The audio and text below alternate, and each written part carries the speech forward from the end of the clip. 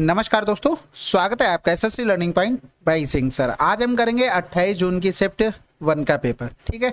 27 तारीख के सभी कंप्लीट हो गए, उनको भी जाकर देख लेना।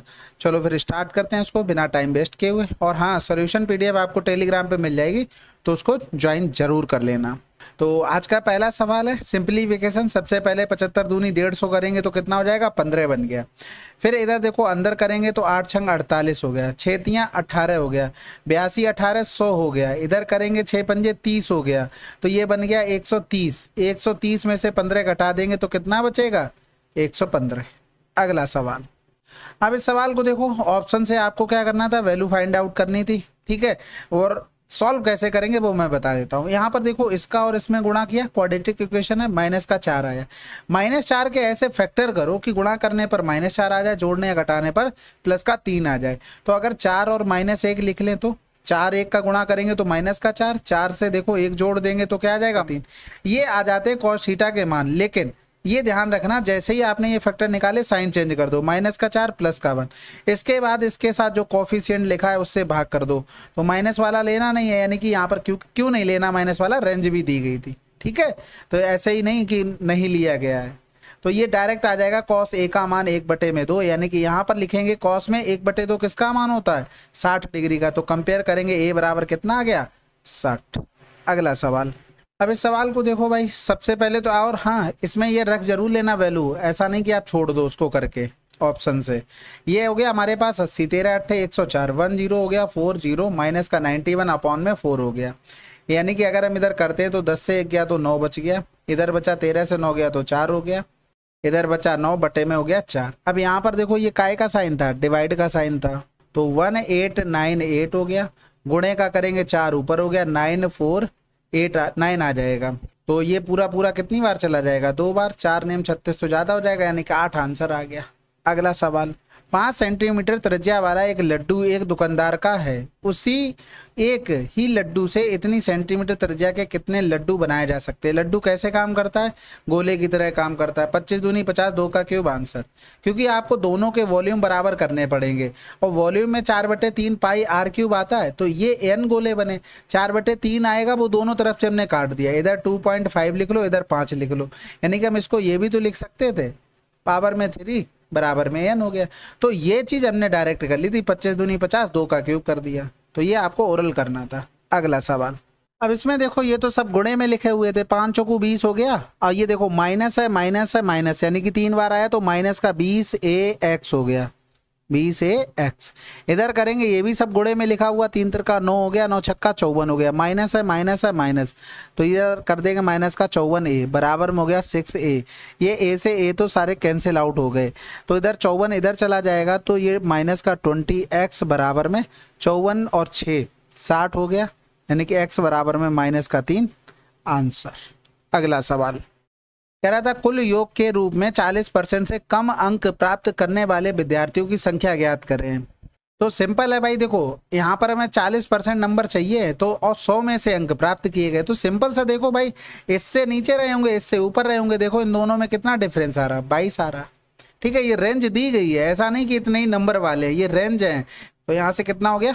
बाईस। दो उम्मीदवारों के बीच एक चुनाव में इतने परसेंट मत प्राप्त करने वाला उम्मीदवार इतने मतों से हार जाता है। डाले गए मतों की कुल संख्या आसान है। सौ में से एक को पैंतीस मिले, दूसरे को पैंसठ मिले। हारा जीती कितने से हुई है? तीस से हुई है। इसी तीस का मान one five nine double zero दिया गया था। सौ का मान निकालना था।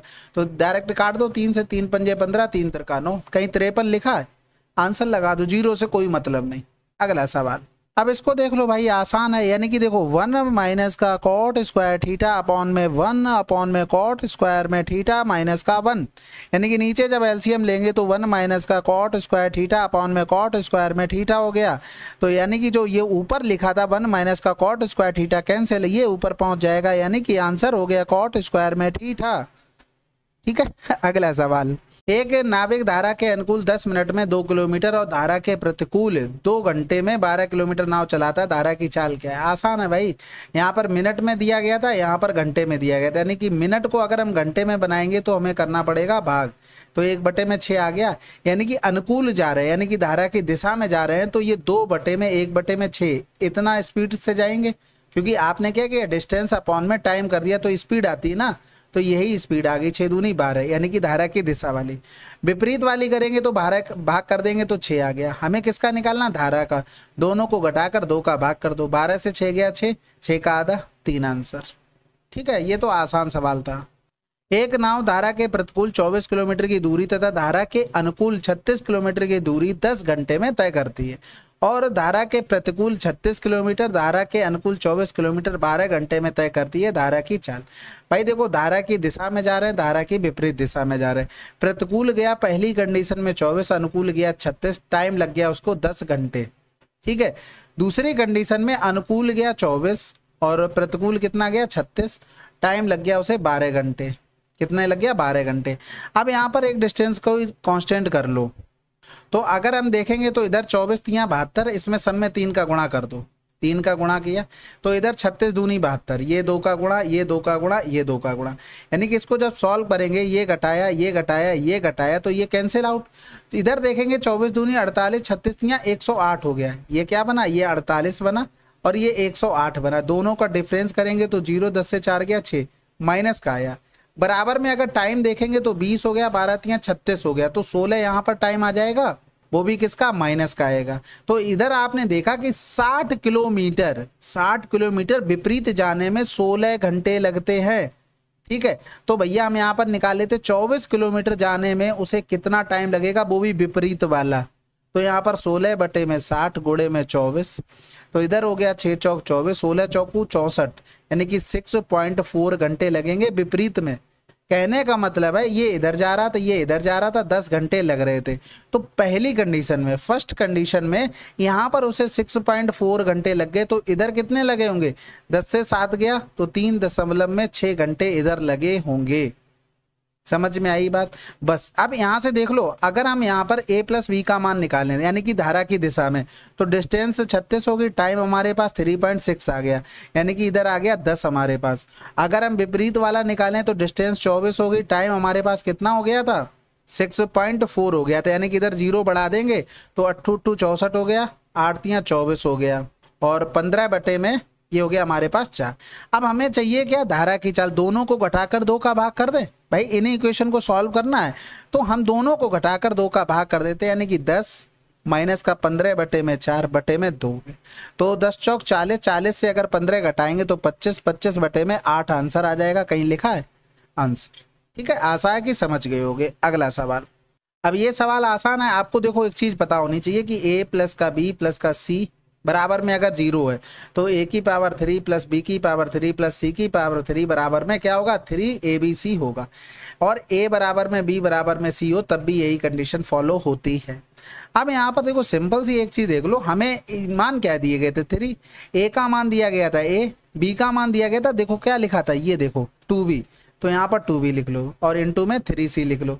तो तीन दूनी छः छः तीन अठारह ए बी सी आंसर। अगला सवाल। निम्नलिखित में से कौन सा कथन सही है? तो कह रहा था, एक त्रिभुज के सभी कोण 60 डिग्री से कम हो सकते हैं। भाई, सभी कोण तो कभी 60 डिग्री से कम नहीं हो सकते। आप एक चीज़ बताओ, कम से कम अगर मान लो 50 ले लो 50 ले लो 50 ले लो, होगा कभी? कभी नहीं होगा भाई। भाई, आपको कुछ ना कुछ तो ऐसा बनाना पड़ेगा कि 180 बन जाए। आप 60 से सब कम ही ले लोगे। कैसे भी नहीं आने वाला भाई, ये तो गलत हो गया। ठीक है, जब ए गलत हो गया तो ये चला गया, ये चला गया। अब हमें केवल डी चेक करना है कि सही है कि नहीं है, बाकी तो आंसर फिर आ ही जाना है। एक त्रिभुज के दो न्यून कोण हो सकते हैं, बिल्कुल हो सकते हैं। ये देखो, यहाँ पर ये 90 डिग्री हो गया, ये 45 हो गया, और ये हमारे पास कितना हो जाएगा? 45 न्यून कोण हो गया, यानी कि डी सही है बी चेक ही नहीं करना है। ए गलत हो गया तो सी अपने आप गलत हो गया, और बी डी दोनों सही होंगे ही। कह रहा था, एक त्रिभुज में एक अधिक कोण हो सकता है। बिल्कुल हो सकता है भाई 120 डिग्री का बना लो। ये 120 हो गया, बस। यानी कि अब बचा कितना? 30 और ये 30 बिल्कुल हो सकता है। ठीक है, अगला सवाल। एक निश्चित धनराशि चक्रवृद्धि ब्याज पर पाँच वर्षों में तीन गुना हो जाती है तो नौ गुना होने में कितना वर्ष लगेगा? देखो, पाँच वर्षों में तीन गुना। इसी का बेस लेते हुए यहाँ पर देखो, कै गुना बोला? नौ गुना। ये ध्यान रखना, बेस इसी का होना चाहिए। और इस तरीके से बना लो, यहाँ पर भी बेस। ठीक, क्योंकि नौ गुना बोला तो तीन की पावर दो हो गई। इनका गुणा कर दो। बस यही आंसर आ जाता पांदुनी दस वर्ष। अगला सवाल। 2020 का सकल कारोबार 18 के सकल कारोबार से कितना परसेंट अधिक है? बहुत आसान है भाई, पाँच अधिक है, पच्चीस चौकू सौ, बीस परसेंट आंसर आ गया था। गुड़े में सौ हो गया, पच्चीस चौकू सौ, पाँच चौकू बीस परसेंट आंसर। अगला सवाल। चौदह सेंटीमीटर व्यास वाले गोलाकार बर्तन को पेंट करने की लागत इतने रुपए है? प्रति वर्ग सेंटीमीटर पेंटिंग की लागत क्या है? देखो, आपको हमेशा हम बता चुके थे कि फोर पाई आर स्क्वायर। यही होता है। अब यहाँ पर जब रेडियस चौदह दी गई है, चौदह नहीं होगी, रेडियस सात हो जाएगी। ब्यास दिया गया था ना? तो ये कितना हो जाएगा? एक सौ चौवन हो जाएगा। ठीक है? अब इसको रखने के लिए एक्स रुपए लगे होंगे और टोटल रुपए हमें देने पड़े 560 यही एक्स का मान निकालना था कि प्रति सेंटीमीटर स्क्वायर कितना होगा। तो इसी को सॉल्व करते हैं भाई। सबसे पहले चार चौकू सोलह हो गया। चार दूनी आठ हो गया। चार यहाँ बारह, चार अट्ठे बत्तीस हो गया। आंसर आ गया। क्योंकि देखो, आपको हम बताते हैं। Two one five six zero बटे में हो गया हमारे पास चार गुड़े में एक सौ चौवन। अब यहाँ पर देखो चार चौकू सोलह छः में किसका गुणा करें कि हमें छः मिल जाए? तो यहाँ पर छेतियाँ अठारह, हटा दो। छठे अड़तालीस, हटा दो। छः दूनी बारह, हटा दो। एक ही ऑप्शन बच रहा था। इसलिए हमने लिख दिया, बाकी हम कैलकुलेशन कर लेते हैं। चार पंजे बीस हो गया। एक बचा चार तियाँ बारह हो गया। तीन बचा चार नेम छत्तीस, ज़ीरो हो गया। बटे में वन फाइव फोर हो गया। तो इधर कर लेंगे तो ग्यारह कम ग्यारह ग्यारह चौक चवालीस हो गया। ग्यारह चौक चवालीस, ग्यारह नेम निन्यानवे हो गया। और ज़ीरो तो था ही था। ठीक है, इधर करेंगे तो चौदह तियाँ बयालीस हो गया। चौदह पंजे सत्तर, आंसर आ गया पैंतीस। ठीक है तो थोड़ा बहुत स्मार्ट वर्क कर सकते हो। अगला सवाल। एक शंकु के आधार की त्रिज्या ऊंचाई क्रमशः इतनी इतनी है, जबकि एक बेलन के आधार की त्रिज्या और ऊंचाई क्रमशः इतनी इतनी है। शंकु के आयतन और बेलन के आयतन का अनुपात क्या होगा? सिंपल सा सवाल है, पाई तो पाई कटी जाना ना, शंकु के आयतन में एक बटे तीन एक्स्ट्रा आ जाता है। अगर हम देखेंगे तो रेडियस इसकी पाँच गुड़े में पाँच हो गई हाइट इसकी छः हो गई और हमें इसका भी पाई काट लिया किसका? बेलन का। रेडियस हमें पता है कि पच्चीस बटे में दो और अच्छे, पच्चीस बटे में दस। पच्चीस बटे में दस गुड़े में हो गया तीन। इसी को सॉल्व करना था। तो सबसे पहले पच्चीस से ये पच्चीस चला गया। फिर इधर पच्चीस चौकू सौ हो गया। तीन दूनी छः हो गया। इधर करेंगे तो तीन इधर आ जाएगा। चार दूनी आठ रेशियो में तीन। आंसर ये तो रेशियो बनाना था सिंपल सा था। अब इस उसको करते हैं भाई, देखो, सबसे पहले तीन दूनी छः एक सात बटे में तीन हो गया। ये तीन ऊपर पहुँच जाएगा तो दो माइनस का तीन बटे में सात हो गया, सात दूनी चौदह। चौदह से तीन गया तो ग्यारह बटे में सात हो गया। अब आ जाएगा इसका नंबर तो वन प्लस का ग्यारह बटे में सात सात ऊपर चला गया। ये यहाँ पर पहुँच गए अब, ठीक है? ग्यारह कम ग्यारह, सात, अठारह बटे में ग्यारह हो गया। और बचा क्या है? वन माइनस का ग्यारह बटे में अठारह बचा। है यानी कि इनका डिफरेंस करेंगे तो नौ बचेगा। सॉरी, आठ से गया तो सात बटे में अठारह। आंसर, अगला सवाल। शहर क्यू से परीक्षा में उत्तीर्ण हुए उम्मीदवारों की संख्या सभी शहरों से एक साथ उपस्थित हुए उम्मीदवारों का कुल संख्या का कितने परसेंट है? तो सबसे पहले देखो, क्यू में टोटल थे कितने? सात, तीन, दस। यानी कि इस दस का मान क्यू में टू पॉइंट टू सिक्स, ये देखो लिखा हुआ है। अब ये कह रहा था कि उत्तीर्ण हुए, उत्तीर्ण कौन से हुए? ये हुए। यानी कि ये क्यू के उत्तीर्ण वाले आ गए, यानी कि पास वाले आ गए। टोटल देख लेते हैं भाई, यहाँ पर छः छः दो आठ, छः चौदह की चार हो गया, हाथ से लगा, एक हो गया। यानी कि दो दो चार, एक पाँच और चार, नौ हो गया।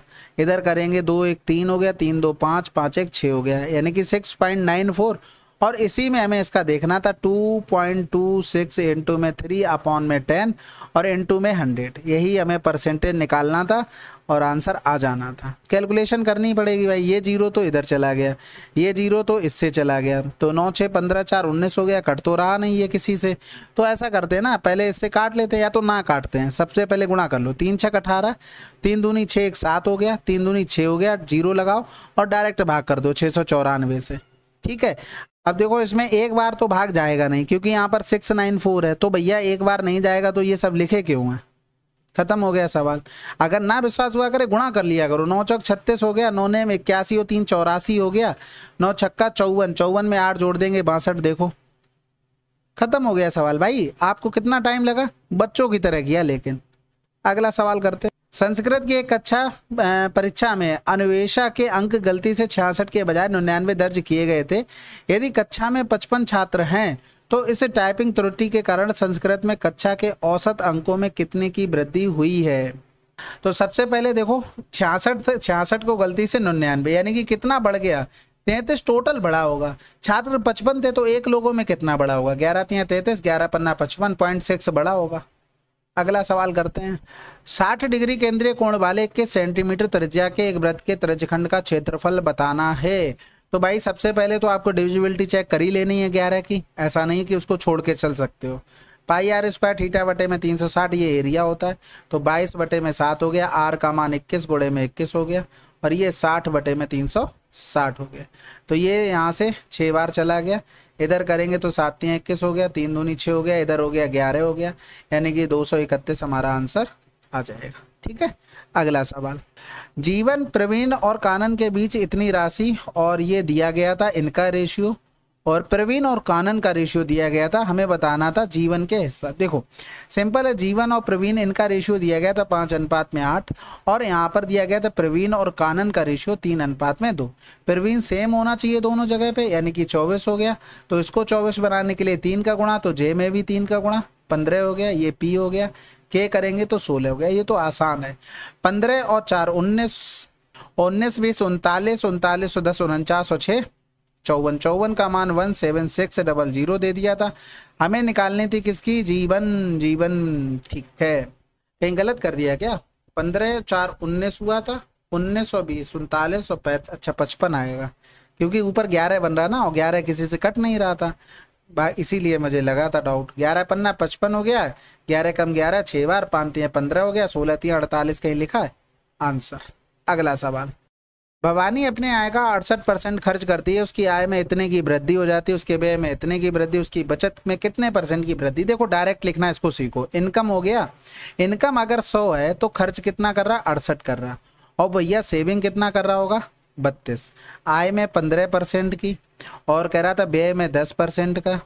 और इसका हमसे पूछा था, इनका डायरेक्ट गुणा कर दो। ये पंद्रह सौ हो गया, ये छः सौ अस्सी हो गया, ये बत्तीस एक्स हो गया और इसको जोड़कर हमें इनकम मिल जाती है इनका डिफरेंस कर दो। ज़ीरो दस से आठ गया, दो हो गया, चौदह से छः गया, आठ बटे में बत्तीस, ये डायरेक्ट मान आपका निकल कर आ जाएगा। ठीक है? चार अट्ठे बत्तीस हो गया, चार दूनी आठ हो गया, ज़ीरो चार पंजे बीस, इधर करेंगे तो आठ दूनी सोलह, चार बच गया और आठ पन्ना चालीस, पाँच बच गया, आठ सत्ते छप्पन हो गया। कहीं मिला नहीं भाई, पच्चीस पॉइंट आ रहा ठीक है?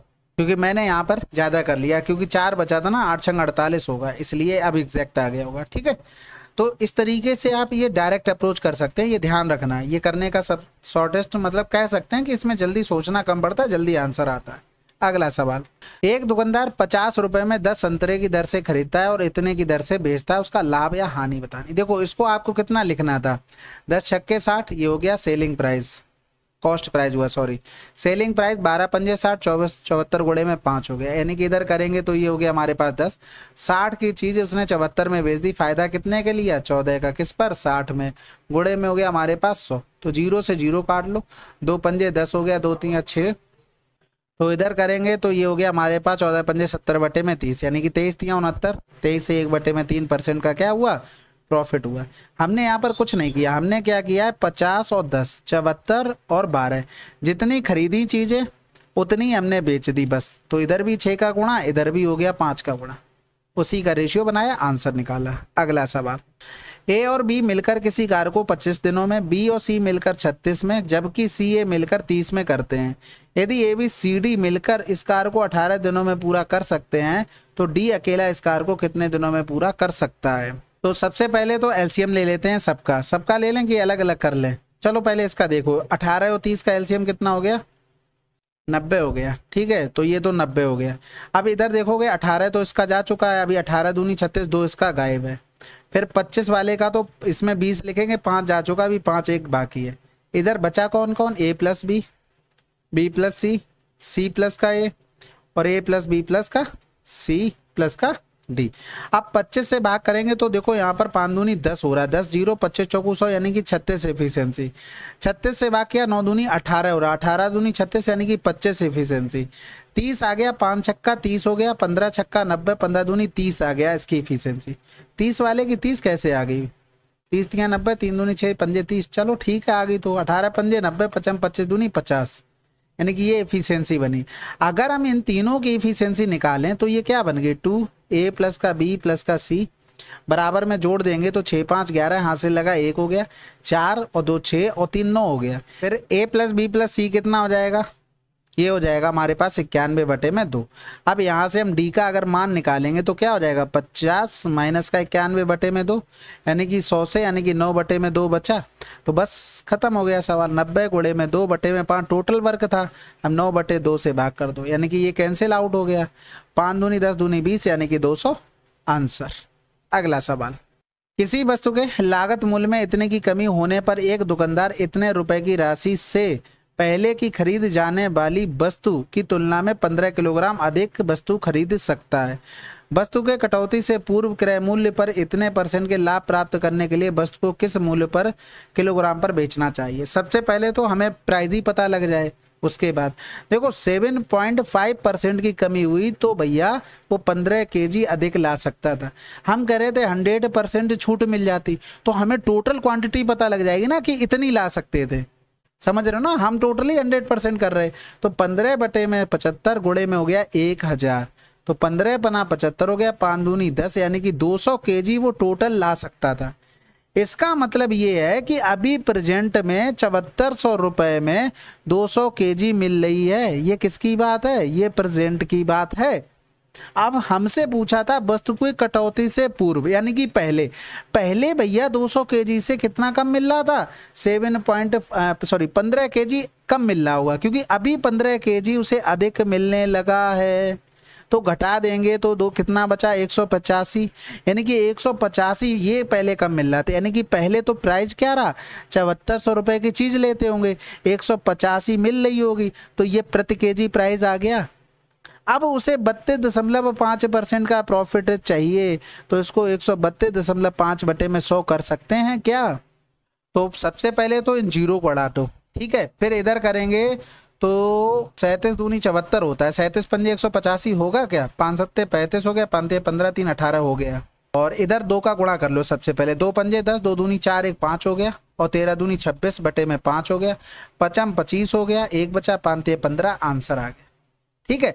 अब यहाँ पर सवाल में ये समझ लो, अगर वो प्रेजेंट का प्राइस पूछ लेता तो हम चौहत्तर सौ में दो सौ का भाग कर देते प्रेजेंट आ जाता। पहले हमें पंद्रह के जी कम मिल रही होगी, क्योंकि वो कह रहा था घटने के बाद इतनी अधिक मिलने लगी। तो वो हमने कम कर दी, एक सौ पचासी, पहले एक सौ पचासी मिल रही थी, अब 200 मिलने लगी छूट के बाद।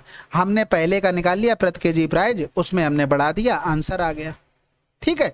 अब यहाँ तो समझ ही गए होगे इससे समझाना नहीं है कुछ, कि इतने परसेंट की छूट हुई तो इतनी हंड्रेड परसेंट की छूट होगी तो वो इतनी ला सकता था, उससे ज़्यादा नहीं ला सकता था। अगला सवाल, कह रहा था, यदि परिवार ने वास्तव में किराने और बिजली दोनों पर इतने रुपए खर्च किए तो किराना एवं बिजली के लिए बजट राशि तथा किराना एवं बिजली पर खर्च की गई राशि के बीच अंतर बताइए।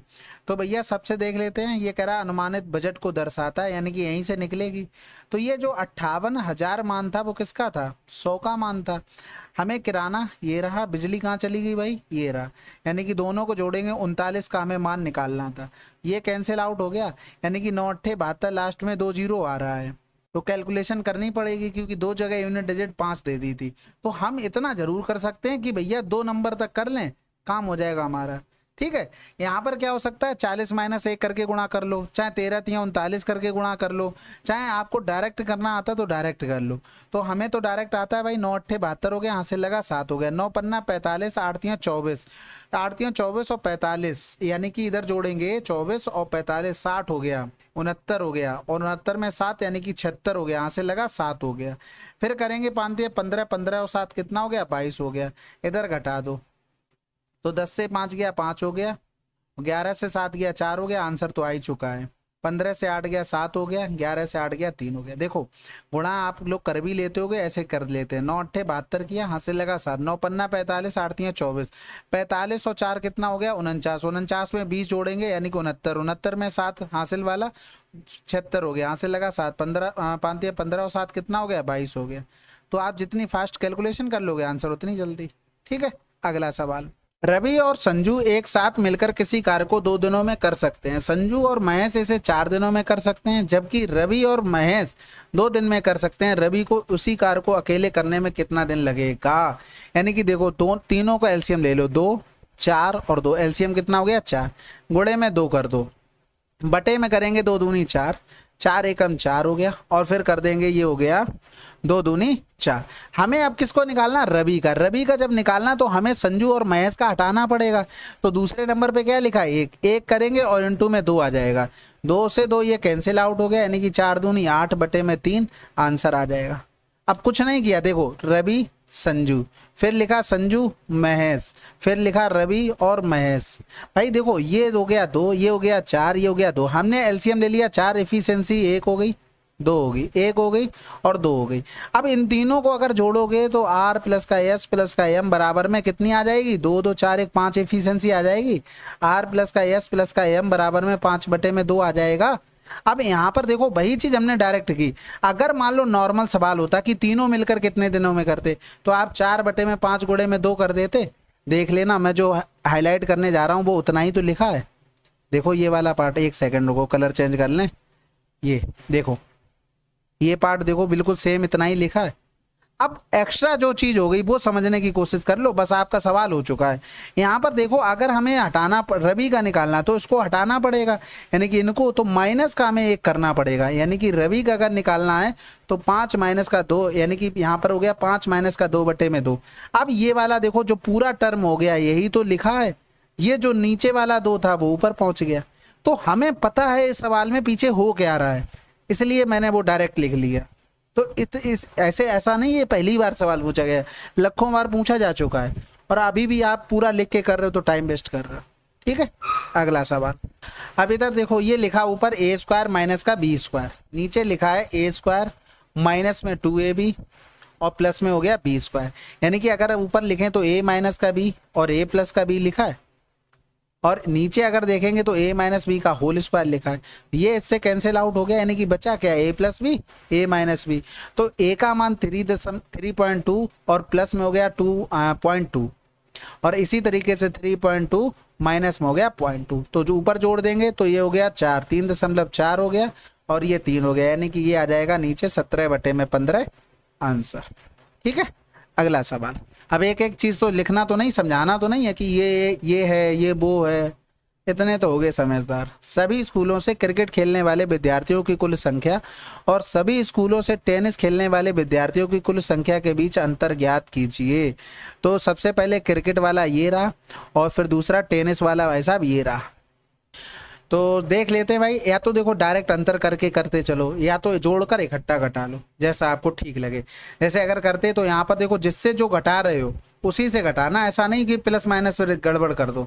यहाँ पर घटाया ऊपर से तो माइनस का सौ आया। इधर हमने घटाया तो माइनस का सत्तर आया। इधर हमने घटाया तो माइनस का दस आया। इधर हमने घटाया तो तीन सौ, दो सौ गया तो सौ बचा। और सौ से अगर दस और कम कर देंगे तो नब्बे हो जाएगा प्लस का। इधर अगर हमने घटाया तो माइनस का तीस आया। अब इनको जोड़ लो। तो देखो यहाँ पर नब्बे कहीं जा रहा है क्या? नहीं जा रहा तो कोई बात नहीं। ये देखो सौ बन गया, दो सौ दो सौ दस। माइनस का हो गया और ये प्लस का नब्बे था। तो ये घटाएँगे तो कितना आ जाएगा? माइनस का एक सौ बीस। अंतर यही होगा। अब इस पे नहीं जाना माइनस प्लस का, क्योंकि हम एट द एंड जब घटाते तो बड़े से छोटा ही घटाते तो माइनस में आया, वो प्लस में हो जाता। बाकी आप सबको जोड़ कर भी कर सकते हो। इतने बड़े नंबर नहीं लिखें कि आप जोड़ ना पाओ। ठीक है तो वो करके दिखा दिया कि हम डायरेक्ट घटा के हुए भी इस तरीके से कर सकते हैं। अगला सवाल, जब संख्या तेरह को पचहत्तर और बारह के मध्यानुपाती से घटाया जाता है तो प्राप्त प्राकृतिक संख्या क्या होगी बताओ? इनका मध्यानुपाती निकालोगे तो रूट में पचहत्तर गुड़े में बारह हो गया। यानी कि इसको लिख सकते हैं पच्चीस तिया पचहत्तर और ये गुड़े में बारह। बारह तिया छत्तीस का छः बार, पच्चीस का पाँच बार। तो यहाँ पर ये तो रूट हटी गया। तीस बन गया। तीस से हम क्या करेंगे? तेरह घटा देंगे। आंसर आ गया। अगला सवाल। एक अर्धगोलीय कटोरे की त्रिज्या इतनी है, कटोरे की क्षमता ज्ञात कीजिए, यानी कि दो बटे में तीन, पाई का मतलब हो गया बाईस बटे में सात, आर क्यू का मतलब हो गया नौ की पावर में थ्री। तो सबसे पहले तो नौ ने में इक्यासी, यानी कि तीन एकम तीन तीन अट्ठे चौबीस, ये तीन से एक नौ काट लिया है, ठीक है? तो तीन हो गया तो ऊपर, इसलिए ऐसे लिख दिया है। और इधर बाईस गुड़े में दो बटे में सात हो गया। देखो, अब गुड़ा ही भाग करना पड़ेगा। अप्रोक्सीमेट में लिखा होगा, अगर एग्जैक्ट लिखा होगा तो डिविजिबिलिटी से आ जाएगा। कर लेते हैं भाई, सबसे पहले या तो ऐसा करो, ग्यारह गुड़े में दो कर लो। इसको चार से गुड़ा कर लो। चार तियाँ बारह हो गया, चार। और चौबीस चौकू छियानवे हो गया भाई। सत्तानवे गुड़े में ग्यारह। ग्यारह की डिविजिबिलिटी कर लेते हो ना, दो लिखो। इन दोनों को जोड़ो, नौ लिखो। इन दोनों जोड़ो, नौ, सात, सोलह। हासिल लगा एक, नौ, एक, दस। आंसर आ गया। मतलब गुड़ा आ गया। बटे में सात कर दो। सात एकम सात, तीन बचा, सात पंजे पैंतीस हो गया। आंसर। आगे आप आराम से बैठ के पूरा कर लेना। ठीक है, वैसे भी कैलकुलेशन कर ली, बची, बचा ही क्या था? अगला सवाल। पाँचों कंपनियों की औसत मांग, औसत उत्पादन के बीच अंतर। हमें कुछ मतलब नहीं कौन सा क्या हमें दोनों को जोड़कर घटाना, बड़े से छोटे, और पाँच का भाग करना है। तो सबसे पहले देखो, ये पैंतीस हो गया। तीस, बीस, पचास। तीस और बीस, पचास और पाँच पाँच, दस और जोड़ेंगे, साठ हो गया। साठ, तीस, नब्बे। नब्बे, तीस, एक सौ बीस और चालीस, एक सौ साठ हो गया। अगर हम इधर देखेंगे तो ये हो गया पैंतालीस पैंतालीस में इधर आ जाएँगे, नीचे चालीस, यानी कि पचासी पचासी में पाँच जोड़ा, पचासी में पाँच जोड़ा नब्बे, और नब्बे में बीस जोड़ा तो एक सौ दस, एक सौ दस में चालीस जोड़ा, एक सौ दस और चालीस तीस सत्तर, एक सौ अस्सी आ जाएगा। ठीक है, चालीस यहाँ से ले लिया, तीस यहाँ से ले लिया। डिफरेंस करेंगे बीस बटे में पाँच तो चार कहीं आ रहा है? आंसर लगा दो, सैकड़े में बोला था। अगला सवाल।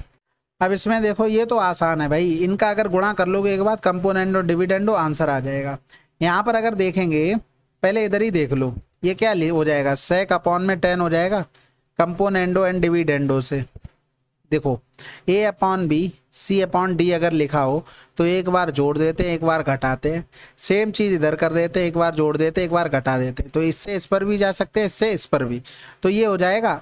अगर हम यहाँ पर देखेंगे तो इसको लिख क्या सकते थे? इसको लिख सकते हैं सेक इन सेक ए इंटू में कॉस ए और अपॉन में हो गया हमारे पास साइन ए ठीक है? क्योंकि साइन ए अपॉन में कॉस ए हुआ होगा, वो ऊपर पहुँच गया। और ये दोनों अपोजिट होते हैं। क्या क्या हमारे पास? कोसेक ए बचा यानी कि जो मान दिया गया था कोसेक ए का दिया गया। लेकिन यहाँ पर गुणा तो करना ही पड़ेगा। दो ने में अठारह हो गया दो सत्य चौदह एक पंद्रह हो गया प्लस में इक्यावन हो गया। आठ एक नौ करेंगे पाँच पाँच दस की ज़ीरो वहाँ से लगाए दो सौ नौ बटे में सेवेंटी नाइन। तो यहाँ पर जब कंपोनेंडो एंड डिविडेंडो लगाए थे तो इधर एक बार जोड़ना पड़ेगा और एक बार घटाना पड़ेगा। तो इधर कर, अगर जोड़ देंगे नौ नौ अठारह यहाँ से लगा एक हो गया यानी कि आठ हो गया। और दो हो गया, बटे में ज़ीरो हो गया, दस से सात गया तो तीन हो गया, ठीक है 130 हो गया। अब इसको देखो, काटना है, बस आंसर आपका आ चुका है।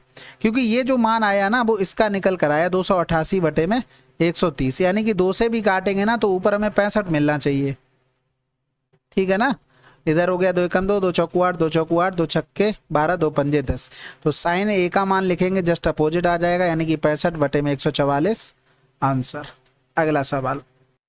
अब इसमें देखो, सबसे पहले तो क्या कर सकते हैं? डिवाइड तो छेतियाँ अठारह, तीन त्रिका नौ यानी कि ये पूरा सॉल्व किया तो तीन आया। फिर ऑफ़ सबसे पहले करेंगे, चौ चौबीस तियाँ बहत्तर। फिर छः बटे में बहत्तर आ जाएगा। बारह छंग बहत्तर, बारह चौक अड़तालीस। ये आ जाएगा पूरा चार। ठीक है, अब आराम से बैठ के करते रहना। पाँच चौको बीस से, बीस कैंसिल आठ इधर हो गया। आठ प्लस का चार माइनस का तीन। आठ, चार, बारह बारह से तीन गया, नौ आंसर किसी त्रिभुज के तीन कोणों में से एक कोण सबसे छोटे कोण का दो गुना और दूसरा कोण सबसे छोटे कोण का तीन गुना। सबसे छोटे कोण का मान ज्ञात कीजिए। तो देखो, सबसे छोटा कोण ये रहा। एक इसका दो गुना था, एक इसका तीन गुना था। तीन, दो, पाँच और एक, छः। छः बराबर में एक सौ अस्सी हो गया। एक बराबर निकालना था, तीस डिग्री आंसर। अगला सवाल। वैसे अगर दिमाग होता तो डायरेक्ट हो जाता साठ, तीस, नब्बे वाले से। ठीक है? अब इसमें देखो भाई, इतनी लंबी दो रेलगाड़ियाँ, इतने इतने की चाल से विपरीत दिशाओं में ये बहुत मेन चीज़ होती है। तो भैया, पहले डिस्टेंस देख लो 500 होगी, टोटल जाना है। विपरीत चलनी तो जोड़ना पड़ेगा। तो 45 सॉरी, बयालीस और अड़तालीस, अस्सी और दस, नब्बे हो गया। लेकिन ये आया किलोमीटर प्रति घंटा में तो मीटर प्रति सेकंड में। पच्चीस दूनी पचास, बीस सेकेंड, अगला सवाल। अब इसको देख लो भाई, ये किसमें दी गई थी? एपी में। आपको रूल बताया जाता होगा नाइन डी स्क्वायर इंटू में मिडल टर्म यानी कि नाइन हो गया डी का मतलब हो गया क्या? डिफरेंस हो गया। डिफरेंस कितने का चल रहा है? एक एक का। तो एक का स्क्वायर हो गया, और मिडल टर्म एक सौ ग्यारह हो गया। यानी कि आंसर आ गया ट्रिपल नाइन ठीक है? और ऐसे भी हो गया वैसे भी आसानी है। आपको फार्मूला तो पता ही ना फार्मूले में भी रखोगे ना तो केवल इतना आपको चेंज कर लेना A plus B plus C एक बटे में दो। ए माइनस का बी का होल स्क्वायर और हो गया प्लस में बी माइनस सी का होल स्क्वायर, प्लस में सी माइनस ए का होल स्क्वायर। बस इसमें मान रखना था। आंसर यहाँ से भी आ जाता अगला सवाल। कह रहा था, दोनों वर्षों के लिए शाखा एफ़ के कुल बिक्री, दोनों वर्षों के लिए शाखा सी की कुल बिक्री का कितना परसेंट है? तो सबसे पहले शाखा एफ़ पे पहुंचो, फिर पहुंचोगे शाखा सी पर पहुंचो। कह रहा था, का कितना परसेंट है? पहले इनको जोड़ लेंगे 150 फिर इनको जोड़ लेंगे तो ज़ीरो, पाँच, एक छः हो गया, पाँच आएगा। नौ एक दस की ज़ीरो से लगाए दो सौ पाँच का कितना परसेंट है, ये हमसे पूछा गया था। पाँच चौको बीस, पाँच एकम पाँच हो गया, पांतियाँ पंद्रह हो गया। अब यहाँ पर तीन हज़ार में हमें इकतालीस से भाग करना है, ऑप्शन का सहारा लेके। सबसे बड़ा क्या लिखा ऑप्शन में?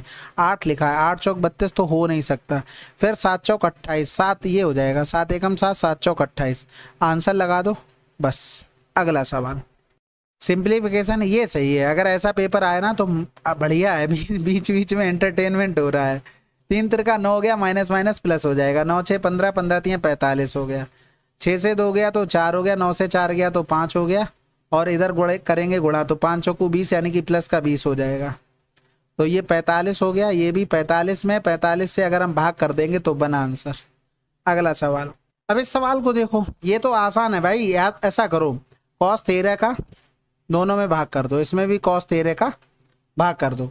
तो कॉस तेरह का भाग किया तो वन प्लस इधर हो गया टेन तेरह और इधर किया तो ये हो गया वन माइनस का टेन तेरह। ठीक है? अगर हम यहाँ पर भी वन लिख लें इन टू में तो देखो हम इसको ये लिख सकते हैं टेन पैंतालीस प्लस का टेन तेरह और अपॉन में वन माइनस का टेन तेरह। और ये टेन पैंतालीस लिख सकते हैं। और ये डायरेक्ट फार्मूला हो जाएगा टेन पैंतालीस प्लस का तेरह। यानी कि ये बन गया हमारे पास टेन अट्ठावन। ठीक है तो ये रिज़ल्ट आपको पता होना चाहिए, टेन ए प्लस बी का जो फार्मूला होता है, वो टेन ए प्लस का टेन बी और अपॉन में वन माइनस का टेन ए और टेन भी। देखो फार्मूले याद रखो।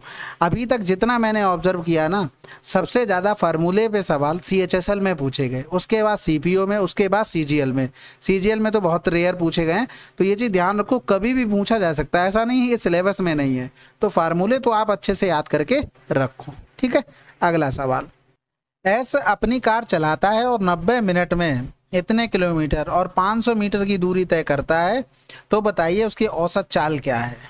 किलोमीटर प्रति घंटे में पूछा है तो भैया अगर इसमें हज़ार का भाग कर दें तो पॉइंट फाइव ये किलोमीटर में हो गया, प्लस में सैंतीस हो गया, और एवरेज स्पीड का फार्मूला होता है टोटल डिस्टेंस अपॉन में टोटल टाइम तो 90 मिनट लग रहे थे। मिनट को घंटे में करेंगे तो 60 से भाग करना पड़ेगा। तो 15 छक्का 90 15 चौकू 60 हो गया, चार ऊपर कर देंगे। तो गुणा करना पड़ेगा ना, चार पंजे बीस हो गया। या ऐसे लिख लेते हैं। सैंतीस दशमलव पाँच गुड़े में चार, बटे में छः हो गया। तो चार पंजे बीस, चार सत्ते अट्ठाईस और दो तीस हो गया। चार दिए बारह और तीन पंद्रह हो गया, बटे में छः हो गया। तो छः दूनी बारह छः पंजे तीस, आंसर आ जाएगा ट्वेंटी फाइव। अगला सवाल। कितने वर्षों के लिए पच्चीस सौ रुपए का निवेश बारह परसेंट वार्षिक साधारण ब्याज की दर से किया जाए कि मिश्र धन इतने रुपए का बर, बराबर हो जाए? तो भाई देखो मिश्र धन इतने रुपए के बराबर हो जाए क्या मतलब बना सवाल में भाई? चौबीस सौ का हमें दे दिया ब्याज और पच्चीस सौ की राशि गुड़े में बारह इंटू में टी बटे में सौ। ठीक है तो बारह दूनी चौबीस हो गया ज़ीरो जा चुके थे पच्चीस चौकू सौ हो गया टी बराबर में आठ हो गया। ठीक है, अब लिखा हुआ समझ में नहीं आएगा क्योंकि सवाल ही इसी टाइप का है। आगे देखते हैं। एक संख्या पहले दस परसेंट घटाई जाती है, फिर इतनी बढ़ाई जाती है और फिर बीस परसेंट घटाई जाती है। संख्या में शुद्ध कमी परसेंटेज क्या है? देखो, इसको एक तो हम फार्मूले से कर सकते हैं। ए प्लस बी माइनस का ए बी अपॉन में हंड्रेड यहाँ पर प्लस माइनस करो। ठीक है? जो भी होगा, उस तरीके से। एक सक्सेसिव मेथड होता है, उससे कर सकते हैं। जिससे भी बढ़िया लगे, जिससे भी कैलकुलेशन आप फास्ट कर पा रहे हो, उससे करो। मुझे इससे आसान लगता है, मैं इसलिए इससे करता हूँ। जैसे मैंने यहाँ देखा, ये घटाई जा रही है, ये बढ़ाई जा रही है, और इधर ये भी घटाई जा रही है। तो किसी को भी एक को पकड़ो। जैसे मैंने इसको पकड़ा तो तीस से दस गया तो बीस हो गया। और तीस, तीन और कम करना पड़ेगा। तीन और कम करना पड़ेगा, सत्तर। अब बीस घटाई जा रही है सत्रह बीस का डिफरेंस माइनस का तीन। और माइनस का हो गया हमारे पास बीस गुड़े में सत्रह यानी कि सत्रह दूनी चौंतीस थ्री पॉइंट फोर और कम करना पड़ेगा। यानी कि टोटल कितना हो गया? सिक्स पॉइंट फोर अब सिक्स पॉइंट फोर ये कमी हुई है। और कमी की बात कर रहा, ये आ तो रहा है सिक्स पॉइंट फोर आप अगर जैसे कर पाओ कैलकुलेशन फास्ट होनी चाहिए, बस इससे अलावा कुछ नहीं। समझ गए होगे कि मैंने किया इसी फार्मूले का यूज़ अब आप कैसे कर रहे हो, ये आपके ऊपर डिपेंड करता है। यदि ग्राहक द्वारा खरीदे गए विभिन्न उत्पादों का कुल विक्रय मूल्य तीन हज़ार रुपए से कम है तो एक विक्रेता बारह परसेंट की छूट प्रदान करता है। और यदि सभी उत्पादों का कुल विक्रय मूल्य तीन हज़ार रुपए से अधिक है तो पंद्रह परसेंट की छूट प्रदान करता है। आनंद को नौ सौ रुपये मूल्य पर एक शर्ट नौ परसेंट का मार्जिन अर्जित करने के बाद बेची गई और साथ ही उन्नीस सौ रुपये के क्रय मूल्य वाली एक जैकेट भी छः परसेंट के मार्जिन के बाद बेची गई। बिल के निपटान के लिए आनंद का कितना भुगतान था? सवाल ये कह रहा है कि जैसे नौ सौ रुपये की कोई चीज़ थी, उस पर छः परसेंट का मार्जिन लिया गया। सॉरी नौ परसेंट का मार्जिन लिया गया। यानी कि एक सौ नौ रुपये में बेची गई होगी सौ की चीज़। अगर यही चीज़ हम देखें कि जो उन्नीस सौ की थी, उस पर छः परसेंट का मार्जिन लिया गया, यानी कि एक सौ छः बटे में सौ में बेची गई। तो यहाँ पर देखेंगे ये कैंसिल आउट हो गया, नौ ने इक्यासी, यानी कि नौ सौ इक्यासी हो गया। इधर ये कैंसिल आउट उन्नीस छक्का एक सौ चौदह हो गया। उन्नीस एकम उन्नीस और एक कितना हो गया? बीस हो गया। टोटल कितने की हुई चीज़? पाँच, आठ, एक, नौ हो गया और नौ हो गया। उनतीस सौ पचानवे की हुई जाके। ठीक है तो ये किससे? तीन हज़ार से कम है। तो कहने का मतलब सवाल का क्या था कि अगर चीज़ है हमारी, एक सेकेंड रुको, ये रहा हमारे पास ये। तीन हज़ार से कम है तो बारह परसेंट की छूट। तीन हज़ार रुपए से अधिक है तो पंद्रह परसेंट की छूट मिलेगी। लेकिन हमारा जो सवाल था, वो कौन सी क्राइटेरिया में आ गया भाई? ये तो आप समझ ही गए ना, बस खत्म हो गया। बारह परसेंट वाली छूट में आ गया, यानी कि टू नाइन नाइन फाइव पर बारह परसेंट की छूट देंगे तो ये अट्ठासी परसेंट में बेचना होगा। अब इसमें गुणा कर देते हैं, ग्यारह गुड़े में आठ लिख सकते हैं इसको। आठ का गुणा करेंगे तो आठ पन्ने चालीस हो गया, आठ ने बहत्तर हो गया, बहत्तर और चार छिहत्तर हो गया, आठ ने बहत्तर और सात, यानी कि और आठ दूनी सोलह और सात तेईस। अब गुणे में ग्यारह ग्यारह का तो आसान होता है। छः लिख दो छः नौ छः पंद्रह नौ तीन बारह एक तेरह हो गया तीन दो पाँच एक छः हो गया और दो हो गया। बटे में कितना था? दस क्योंकि एक द, एक ज़ीरो इससे कट चुका है। ऐसे करके कर लूँ। तो ये आ जाएगा हमारे पास छब्बीस पैंतीस दशमलव छः ग्यारह का गुणा करना हम बता चुके हैं इसी वीडियो में तो आपको पता होगा डायरेक्ट हम कैसे कर सकते थे। ठीक है? अगला सवाल करते हैं। एक त्रिभुज के कोणों का अनुपात इतना है तो त्रिभुज संगत भुजाओं का अनुपात क्या होगा? भाई देखो, अगर हम सब में तीस का गुणा कर दें तो ये नब्बे बन गया, साठ बन गया, तीस बन गया। अब तो ये भी अगर रेशियो नहीं पता है तो फिर भैया भगवान ही जाने, तुम क्या करोगे? साठ हो गया, ये नब्बे हो गया। अगर ये रूट थ्री है, ये वन है, ये टू होगा। तो ये देखो यहाँ पर एक लिखा है। एक मतलब तीस तीस के सामने बुझा क्या है? एक है। यानी कि पहले एक आ जाएगा। दूसरे पे लिखा साठ। साठ के सामने बुझा क्या है? रूट थ्री है। तीसरे पे बचा हुआ दो आ जाएगा। आंसर लगा दो। ठीक है? अगला सवाल। एक गन की बुझा की लंबाई? इतनी है गन का आयतन क्या होगा? अगला सवाल। एक खुदरा विक्रेता अपने सामान का मूल्य एक इतना बढ़ाकर अंकित करता है और इतने की छूट देता है। कह रहा था, क्रय मूल्य इतने रुपए है तो विक्रय मूल्य क्या होगा? देखो, सिंपल सी बात है, सोलह सौ रुपए की चीज़ थी, उसने 130 परसेंट बढ़ा दिया, यानी कि 230 हो गया, और फिर 25 परसेंट की छूट दे दी, यानी कि 75 परसेंट। ये सेलिंग प्राइस आ गया डायरेक्ट निकल कर। तो आंसर आ गया हमारे पास, इधर करेंगे तो पाँच रहेगा ना, सोलह पंजे अस्सी हो गया, सोलह सत्ते एक सौ बारह में आठ जोड़ देंगे तो एक सौ बीस हो गया, बारह तियाँ छत्तीस। खत्म। ये पाँच नहीं होता तो और जल्दी यूनिट डिजिट निकल आती, लेकिन पाँच जब तक हटाओगे नहीं, तब तक यूनिट डिजिट आपको मिलेगी नहीं। ठीक है? तो इस तरीके से कर लेना था। अगला सवाल करते हैं, बाकी आराम से आप करते रहना पूरी कैलकुलेशन कुछ बचा नहीं है वैसे भी उसमें करने के लिए। अब यहाँ पर देखो, इधर अगर देखेंगे ये डिवाइड है तो सबसे पहले डिवाइड होगा, उसके बाद गुणा होगा। तो इधर करेंगे आठतियाँ चौबीस। चौबीस और सोलह का डिफरेंस आठ हो गया। अब ये तो यहाँ से करेंगे तो चार दूनी आठ हो गया। अब गुणा करेंगे तो बीस दूनी चालीस हो गया। चवालीस और चालीस का डिफरेंस चार हो गया। इधर चौंसठ से भाग करना था। अब कुछ बचा ही नहीं सवाल में। अगला सवाल। इसमें भाई सबसे पहले तो डिवाइड चार दूनी आठ हो गया, चार दो छः हो गया छः दूनी बारह हो गया, बारह चौक अड़तालीस हो गया, बारह चार सोलह हो गया, सोलह उसका डिफरेंस तेरह हो गया। अगला सवाल, ये सही है सिंप्लीफिकेशन खूब आया भाई, मज़ा आ गया होगा करते हुए, ठीक है?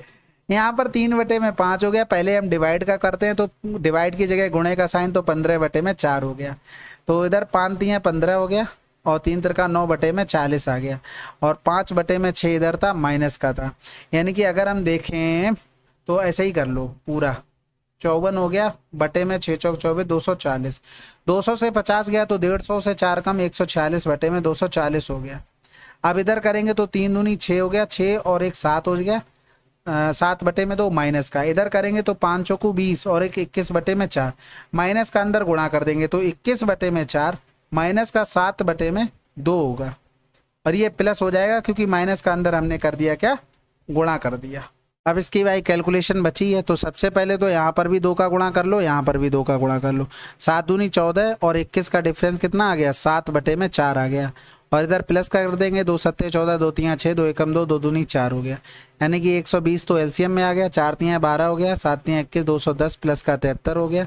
तो इधर कर लेंगे तो तीन, सात एक आठ हो गया। और दो हो गया, बटे में 120 हो गया। अब यहाँ पर देखो, आंसर कितनी आसानी से आ सकता है। और कुछ करना ही नहीं है आपको, क्योंकि देखो, हमें यूनिट डिजिट तीन चाहिए। तो इसमें गुणा करोगे ज़ीरो, सात जोड़ोगे सात आया। इसमें ज़ीरो, सात आएगा। इसमें जोड़ोगे एक, ज़ीरो हो गया, एक आएगा। इसमें किया दो, ज़ीरो हो गया, तीन जोड़ोगे, तीन आएगा यूनिट डिजिट बाकी आप कर सकते हो, बारह दूनी चौबीस हो गया, यानी कि दो सौ चालीस आ गया। दो सौ चालीस में घटाएँगे तो आठ से चार गया, चार हो गया, तीन हो गया, बटे में एक सौ बीस। आंसर। ठीक है? अब इस सवाल को देखो। देखो, इसमें इससे कोई फ़र्क नहीं पड़ेगा। रीजन उसके पीछे ये है, जैसे ये लिखा होता, टू एक्स पावर में फोर, प्लस में वन अपॉन में टू एक्स पावर में फोर। अगर हम इधर करें क्या, कि इधर भी दो जोड़ दें, और इंटू में हम टू एक्स इंटू में वन अपॉन में टू एक्स कर दें। फिर बराबर में अगर हम देखेंगे तो one, four, one, five, nine, और यहाँ पर हो जाएगा प्लस में दो, और इधर भी सेम चीज़ कर दें। तो यहाँ पर एक चीज़ देखो, ये तो कैंसिल आउट हो जा रहा ना, इससे कोई फ़र्क नहीं पड़ रहा। यानी कि अगर हम यहाँ से दो जो लिखा है मैंने, वो हटा भी देना तो उससे कोई फ़र्क नहीं पड़ना है। क्योंकि वो एट द एंड तो कट ही जाना है। तो ये चीज़ आपको ध्यान रखनी है कि फर्जी में दो को लिए लिए घूम रहे कोई मतलब नहीं बनेगा उस चीज़ का। तो हम इस चीज़ को क्या करते हैं, यहाँ से इग्नोर कर देते हैं, ये हटा दो। और इधर भी हटा दो, कोई मतलब ही नहीं उस चीज़ का। बाकी अगर देखो, हम दोनों तरफ़ दो जोड़ेंगे, इधर भी दो जोड़ा, इधर भी दो जोड़ा तो ये बन गया one, four, five one five और यहाँ पर नौ दो ग्यारह, यानी कि ये बन जाएगा। अब इसको निकालने का तरीका देखो। अगर हम 110 का होल स्क्वायर कर दें तो ये 121 हो गया डबल ज़ीरो हो गया। अगर 120 का होल स्क्वायर कर दें तो 144 हो गया। यानी कि यहाँ पर जो नंबर है, वो इसी के बीच में रहा होगा। यानी कि इसी के बीच में रहा होगा, या तो हमारे पास नंबर क्या बनेगा? एक सौ मतलब लास्ट में नौ होता, तब स्क्वायर में एक आ जाएगा। या तो एक होता, तब आता। तो देखो, इसके बीच में या तो एक सौ ग्यारह आ रहा, या तो एक सौ उन्नीस आ रहा। अब आपको एक चीज़ और पता है, अभी आपको दो जोड़ना पड़ेगा और होल स्क्वायर बनाना है तो ये तो हम ले ही नहीं सकते। और वैसे भी देखो, ये इंक्लाइंड किधर हो रहा है? 144 की तरफ़ हो रहा ना तो हम वहाँ से कर सकते थे। तो ये अंडर रूट किया, ये आ गया हमारे पास एक्स स्क्वायर प्लस में वन अपॉन में एक्स स्क्वायर का मान आ जाएगा। कितना आ गया? 119 फिर से दोनों तरफ़ दो जोड़ देंगे, यानी कि x प्लस का वन अपॉन में x हो गया। दो जोड़ेंगे तो ये 121 हो गया, यानी कि यहाँ पर क्या आ गया? ग्यारह आंसर आ गया। अब ये समझाने में इतना टाइम लगा। अगर आपकी प्रैक्टिस अच्छी हो ना तो आपको यहाँ पर देखो, यही निकालना था कि ये होल स्क्वायर कितने का बन रहा है। फिर तो आपको पता ही कितनी जल्दी हो जाएगा। ये लिखने में, समझाने में टाइम लगा ना। आप खुद से भी देख सकते हो इस चीज़ को। अगला सवाल। ये भी शिफ्ट हमारी समाप्त हुई, यानी कि अट्ठाईस की शिफ्ट वन समाप्त हो गई है। आशा करते हैं आपको सोल्यूशन समझ में आ रहा होगा अच्छे से। बाकी पढ़ते रहो, क्योंकि कंपटीशन अच्छे लेवल का है, बहुत हेल्दी कंपटीशन होने वाला है। ऐसा नहीं है कि आपको ये स्पेशल टाइम मिला था, इतना गैप हो गया था जो सबको ही मिला था तो सभी पढ़ रहे थे, ठीक है? चलो फिर मिलते हैं अगले वीडियो में, तब तक के लिए जय हिंद, जय भारत।